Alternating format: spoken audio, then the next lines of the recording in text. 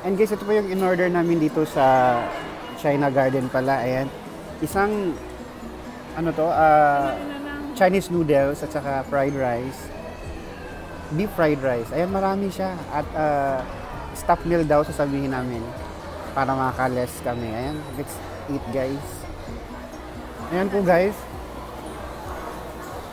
Kaming tatlo po. Yung order namin ay ah, Chinese noodles at saka um, beef fried rice with stop uh, discount po.